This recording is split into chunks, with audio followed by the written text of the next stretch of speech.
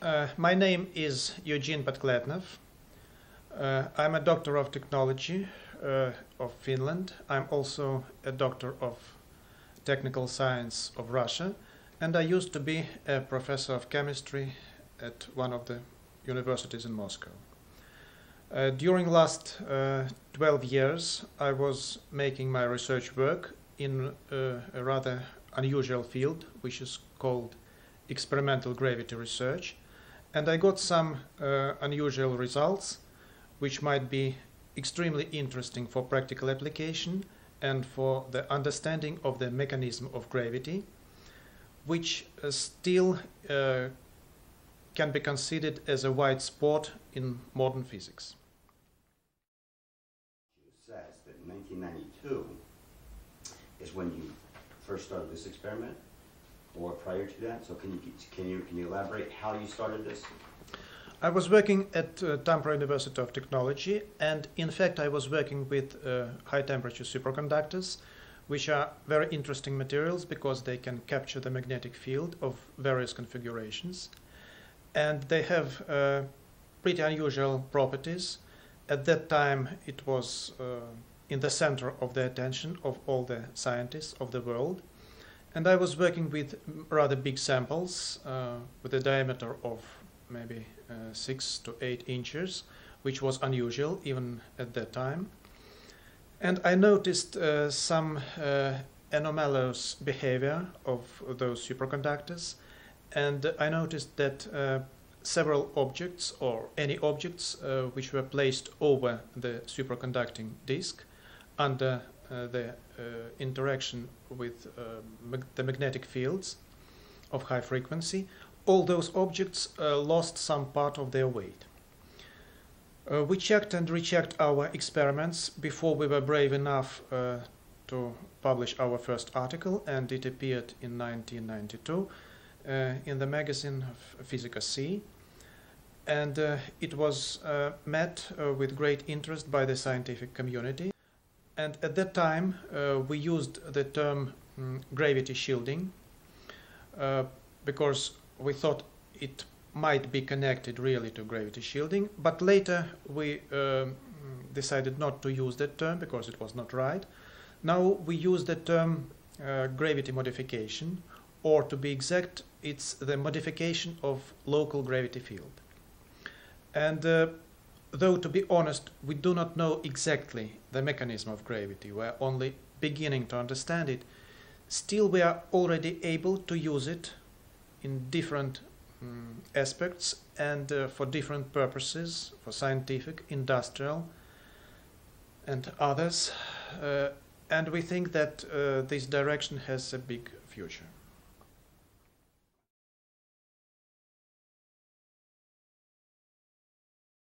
Says that uh, it was it was kind of an accident. You were spinning a disc and some smoke. Is, is that true? Was it an accident or? Uh, you can say it was uh, practically by accident because we were making our research and we were making the measurements of the weight, and we were using a cryostat, and uh, we were working late in the evening. So one of my colleagues came to the laboratory and he was smoking his pipe, and he blew uh, the smoke over the cryostat and then a strange thing happened because that smoke approached the cryostat, hit some uh, invisible barrier and then went straight upward. It was a bit unusual, but that gave us a very good idea. And later uh, we used a barometer in order to uh, check up um, the air pressure over the cryostat. And it happened uh, so that uh, the air pressure in the projection area of the disk was uh, lower uh, than in the surrounding atmosphere.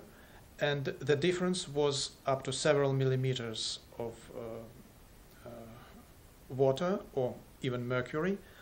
So uh, this difference could be felt uh, not uh, only inside our laboratory but on the second floor above ours and we were able uh, to show that we really deal with a mm, well reproducible and very um, effective phenomenon.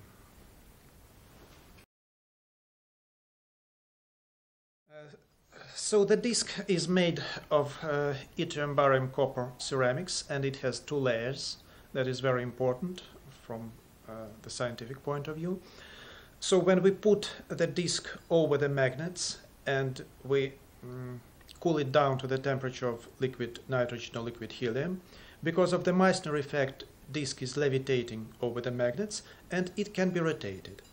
And again with the magnetic field it can be rotated with big speed we use the rotation up to 5000 uh, rotations per minute, but later we made a special installation which allowed us uh, to use much uh, higher speeds. And uh, mm, every uh, object that is put over the disk loses some part of its weight. In the stationary mode, uh, the loss is not big, it's about 0.1%. Uh, but uh, when we rotate uh, the disk and use resonance frequencies of the electromagnetic field, we can increase the weight loss up to 2%. And if we increase also the rotation speed, we can uh, reach the maximum values of 5% and at some peak values up to 9%. Uh, the only thing that keeps us from better result is the rotation speed because the disc is a ceramic one and uh, even at uh, 20,000 rotations per minute we have uh, very big forces which tend to destroy it. So we should keep it always in mind. But as I used uh, magnetic uh, suspension system uh, because of the Meissner effect it's possible to rotate it up to rather high speeds. The maximum that we used was about 30,000 uh, and uh, then we had to uh, make some mm, special protection made of uh, plastic materials uh, so that we could strengthen uh, the structure of the disc. In that case we get really good values and also we have some secrets. they um, are connected with the resonance frequencies of the magnetic fields uh, and special configuration of the solenoids. But in general, uh, it's a rather mm, simple experiment and it can be reproduced uh, in a normal laboratory at any university. Now, the superconducting material, if it's a secret, that's fine. Uh, but if you're allowed to elaborate, on basics uh, of the material? No, it is not secret. Uh, we have uh, two layers. One layer is normal superconductor, or yttrium barium copper with a formula 1 to 3. It's uh, well known in the world. And the second layer is practically the same material, but it is not superconducting. It is normal conductor. So uh, by special heat treatment, we can arrange uh, both layers in such a way that one layer is superconducting and another is normal conducting layer. When we rotate uh, uh, the whole disk in the magnetic field, normal conducting layer mm, produces a lot of uh, electrons and they move uh, to the superconducting area and they become not electrons but Cooper pairs. And they form uh, what we call in physics uh, Bose-Einstein condensate, which has uh, unusual properties. and one of the main properties is that it is it has the property of superfluidity, superconductivity definitely, and it can also interact with subatomic particles that exist uh, around all the objects and uh, practically form the whole universe. Uh, and by using this interaction of uh, our superconducting material with uh, subatomic particles, we get very unusual reaction and we can to some extent change or modify local gravity field. If we go to a bit deeper physics, uh, we can say that we have the ability to polarize space around this rotating disk and using this uh, mm, polarized um, space or polarized physical vacuum, we can definitely manipulate gravity. I can't say that I'm an expert on gravity. I never was, and I'm afraid I never will be. Uh, but I want to uh, understand gravity and to make uh, experimental research in this area because uh, there are a lot of theoretical works, and I'm thankful to those theoreticians who uh, also studied our experiments and helped us a lot. But the experimental part still remains from my point of view, the key point to overcoming gravity and using it for our uh, future, for our purposes, uh, for all our needs. If we speak about the magnetic field, yes, it goes like donuts. But uh, if we speak about uh, mm, the production of gravitons, if they ever exist, because uh, these are still hypothetical particles, we have the emission of uh, gravitons, which go, follows the projection of uh, this disk, and it goes to space in one direction. And we can uh, change the direction of the flow of gravitons.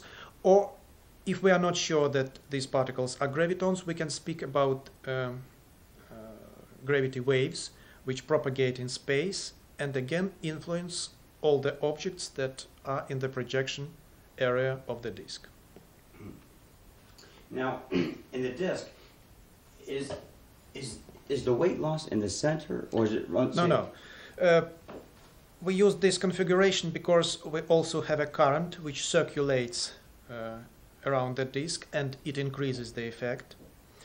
And uh, the increase of the effect uh, is because of the fact that we should um, uh, create the maximum density of electrons or Cooper pairs inside the superconducting materials. That is the key to success. That's why we are rotating it with great speed. That's why we use high frequency. And uh,